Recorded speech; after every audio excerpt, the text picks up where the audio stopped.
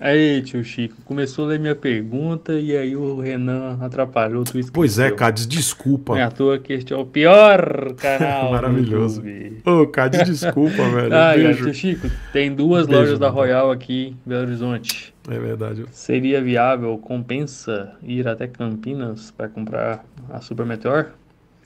Depois daqueles dias que eu te mandei as fotos aqui do orçamento da Eliminator, eu desisti. É, cara. Putz. Não tem como pagar 10 mil a mais por uma moto que com acabamento inferior e etc, etc. Valeu. Cades, um beijo grande. Desculpa, o Renan, meu patrocinador e meu amigo Renan, me tirou totalmente do foco quando me ligou. Cades, eu vou te mandar o contato do meu amigo Thor, lá da Royal Enfield Campinas. Fala que fui eu que lhe indiquei, tá? É, faz isso. Tá? Deixa eu colocar aqui o contato dele. Você vai falar com o Thor. Pode dizer que fui eu que indiquei e compra lá com o Thor. Fala com ele, compra, pode comprar, pode dizer que foi eu que indiquei. E é o seguinte, hoje eu conversei com meu querido Sandro Grow. Sandro também passou pela mesma situação que você. E eu vou só relatar aqui rapidamente. Mando um beijo pro Sandro Grow lá de Vitória, Espírito Santo. E o Sandro me mandou a foto da senhora dele, da esposa dele, numa Eliminator. Eles são fãs da Kawasaki, gostam. O Sandro tem uma. uma... Inclusive, ele comprou essa moto pela péssima influência do velho da Vulcan e do Leandro Caravieri. Ele tem uma Vulcan 650, ele saiu de uma Versys 650 e vendo as péssimas influências do Paulo Cabral e do Leandro Caravieri, ele comprou uma Vulcan 650. Não é péssima influência, tô brincando, gente. Ele vendo os dois, tanto Leandro quanto Cabral, ele decidiu, cara, vou comprar uma, uma Vulcan 650. Dito e feito, comprou, saiu de uma Versys, comprou uma Vulcan. E pensou, é, ele e a esposa dele, que a esposa também motociclista, ele, ela, assim que a Eliminator fosse lançada, eles embarcariam no Eliminator para a esposa para eles poderem viajar juntos. O Sandro viaja muito com a esposa dele, inclusive o Sandro sempre que viaja me manda vídeo e eu gosto demais do Sandro. E hoje a gente conversando, ele me mandou as fotos da esposa dele na moto e vestiu perfeito na esposa dele.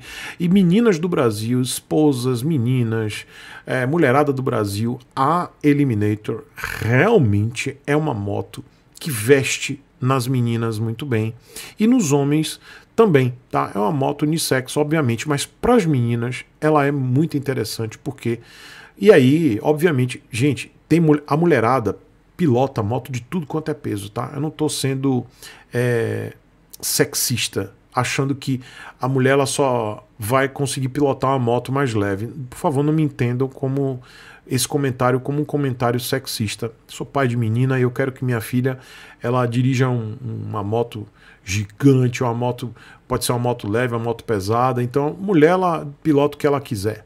Mas é, obviamente que uma moto mais leve ela facilita a ciclística para qualquer um, né? Não somente para homens e para mulheres. Mas é uma moto muito leve, 176 quilos, comparado com uma Super Meteor de 240 quilos, a diferença é absurda. Então a moto vestiu na esposa do Sandro. Só que aí vem um porém. E o ela ficou apaixonada. Ele me mandou a foto, inclusive naquela laranjinha que eu tirei foto lá no festival Interlagos. E ele me mandou a foto e disse: Cara, minha esposa apaixonou pela moto e a gente curtiu demais. Mas o problema, assim como o Cades falou, e a Kawasaki precisa ficar muito atenta a isso. Se é que ela quer vender moto, né? Se é que a Kawasaki liga para isso. A moto está sendo vendida nos concessionários a 45 mil reais. E eu digo para a Kawasaki, vai vender, mas vai vender só para os emocionados. E eu não estou desqualificando as pessoas porque o querido Manezinho do, dos motoqueiros do bairro comprou a dele. Eu mando um beijo para você, Manezinho, que é um lindo. Vão lá no canal Motoqueiros do Bairro. Manezinho comprou a dele. Manezinho que é um cara amável, é um lindão. Eu adoro o canal do Manezinho. Motoqueiros do Bairro. Ele acabou de lançar um vídeo, ele adquirindo a, a Eliminator dele. E aí, gente, quando eu falo emocionado, não estou desqualificando. A gente se emociona e a gente compra. E quem pode comprar tá tudo certo. E o, o Manezinho, ele tinha uma, uma Interceptor e ele foi para Eliminator e ele cria o conteúdo, ele faz o conteúdo dele, inclusive o conteúdo dele é maravilhoso. É uma delícia assistir os vídeos do Manezinho lá do Motoqueiros do Bairro. Manezinho é da hora, né, Murilo? Eu acho o Manezinho da hora. E eu fiquei muito feliz porque eu vi que o Manezinho ele comprou Eliminator. Então, gente, quando eu falo emocionados, eu não tô desqualificando a galera, tá? Mas terão os emocionados que vão pagar os 45 mil, tá tudo certo, gente. Mas, quando se pensa, fiz o meu adendo para vocês não pensarem que eu estou criticando as pessoas que vão comprar é, por 45 mil. Cada um faz o que quiser com o dinheiro. Mas eu preciso deixar aqui a minha homenagem, a, a homenagem ao Manezinho que comprou inclusive foi o primeiro criador de conteúdo do Brasil a fazer conteúdo com a própria Eliminator. Vão lá, motoqueiros do bairro. Mas 45 mil é muito fora da realidade dessa moto. Essa moto não vale 45 mil, ela vale e muito 40. Mas assim, extrapolando 40, porque ela vale, sério mesmo, serião, 30, 35 mil. O valor dela, na boa, era para ser 30 porque o acabamento dela não é primoroso. É um acabamento ok. É um acabamento de Z400, galera. Eu tô dando a real. Eu não tô desqualificando a moto. Eu não tô dizendo que a moto não presta. Eu não tô dizendo que a moto não é legal. Muito pelo contrário. Qualidade Kawasaki. Qualidade de acabamento Kawasaki. Confiabilidade da Kawasaki. E uma moto com alívio de peso para você que quer rodar. Excelente. Com motor de 51 cavalos. 4,4 kg de torque. E ela entrega a 6.000 RPM, ou 6.500. Eu vou falar 6.000, tá? para não falar groselha. Então, é uma moto excelente. Vai alcançar velocidades legais na rodovia, na cidade. Obviamente que é um motor mais girador, né? Aquele motor chato da, das Kawasaki para a cidade. Geralmente, moto Kawasaki é para você botar na rodovia. Mas uma moto excelente. Mas, ainda assim, com acabamento de Z400 de Z500, de Ninja 400, de Ninja 500. Então ela não tem aquele acabamento primoroso que a gente espera numa custom e que a Super Meteor tem. Até os comandos são comandos metálicos. A moto é full metal, é toda de metal. Então a gente que gosta de moto custom, a gente gosta de uma moto é, mais bem acabada. A Kawasaki, ela, ela criou uma moto linda, interessante, vai vender bem, mas percebe-se uma economia de custos nessa moto. Então, ela, na minha opinião, ela não vale 40. Ela vale o, o valor dela deveria ser 30, 35. Ia brigar bem com a Super Meteor, ia brigar bem pra caramba, mas ela já chegou no salto 40 mil reais e algumas operadoras, algumas concessionárias vendendo a 45 mil reais. E fazendo o link com o meu querido Sandro Grow, ele disse: Chicão, o problema é o preço da moto. Eu e minha esposa achamos muito cara, 45 mil reais. Vamos esperar. E eu disse, Sandrão, é isso, é esperar. Não vale a pena. Obviamente que o Manezinho é criador de conteúdo, ele está fazendo muito conteúdo para alavancar o canal dele. O Manezinho vai fazer muito conteúdo para vocês no canal Motoqueiros do Bairro. A gente vai se deleitar lá no, no, nos vídeos massa do Manezinho, Motoqueiros do Bairro. Mas para você que não tem canal e você que quer comprar uma Eliminator, eu sugiro você esperar. Espera. Tio Chico, espera o quanto? Espera baixar o preço.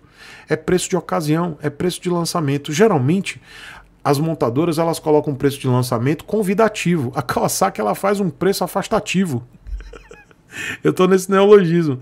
Então a Kawasaki ela faz um preço afastativo para você se picar, para você ir embora, sair correndo e pensar, velho, não, não vale. Não vale, galera. A moto é boa? É boa. É confiável? É. Tem a qualidade de uma japonesa? Óbvio que tem, mas não vale 45 mil. Então eu acredito que essa moto ela tem uma redução de preço mais para frente, porque se a Kawasaki aumentar mais de 45 mil, gente, é loucura. Não vale.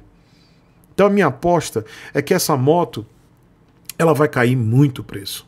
Muito. Vai bater 40, vai baixar dos 40 e vai chegar um ponto que a Kawasaki ela vai precisar competir com a Royal. Porque não duvidem, a Super Meteor ela vai chegar perto dos 40. Ela não vai ficar só nos 35. Ela vai subir o preço.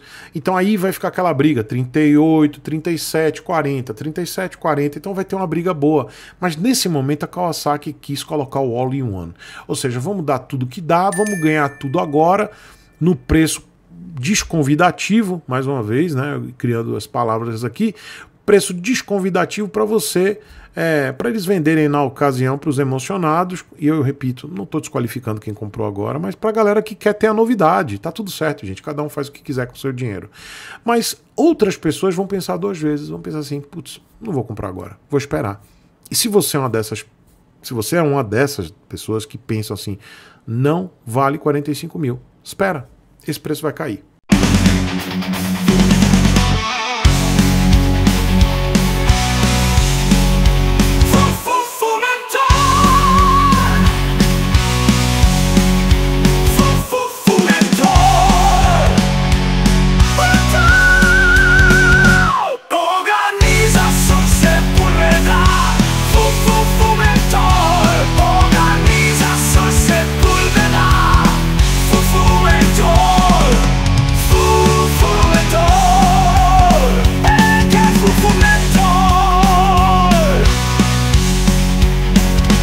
Fufumento